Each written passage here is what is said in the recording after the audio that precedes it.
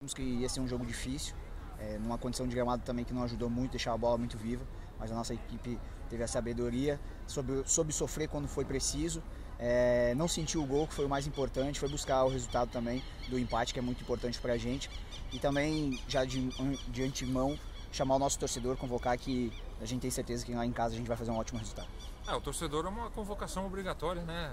Eu acho que o torcedor entende o esforço de todos que estão representando o Juventus nesse momento e a gente precisa do apoio da torcida. A torcida do Inter de Lages é, fez pressão, incentivou seus atletas e eu tenho certeza que a nossa vai fazer da mesma forma no próximo domingo. Né? O jogo foi muito difícil, nós, nós conseguimos fazer um jogo de igual para igual com o Inter.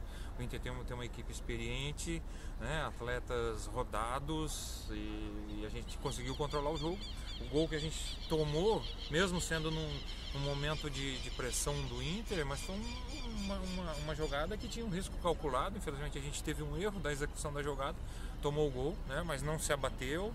As modificações funcionaram, a gente teve aí 16 atletas né, envolvidos na partida, é, muito concentrados, focados, e aí o empate foi um merecimento por aquilo que a gente fez dentro da partida, inclusive com uma oportunidade né, de, da gente tentar a vitória ainda, é, mas é o confronto mais é, nivelado né, da, da, da, da, competição do momento, não tenha dúvida, é, esse nivelamento, essa igualdade, ela, ela passa para o jogo da volta, e a gente vai ter que jogar muito mais, né, agora sim, na nossa casa, para garantir a nossa vaga à semifinal do campeonato.